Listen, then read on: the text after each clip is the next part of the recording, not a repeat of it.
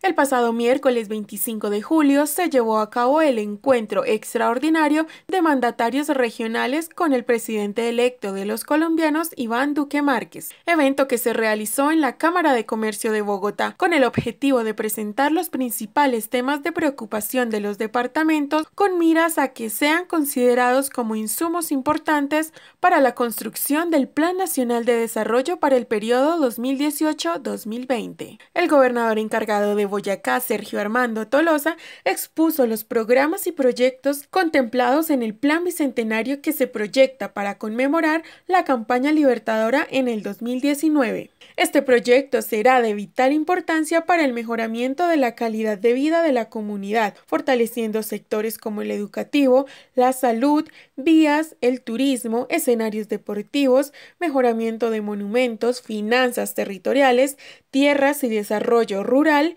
paz, infraestructura y medio ambiente.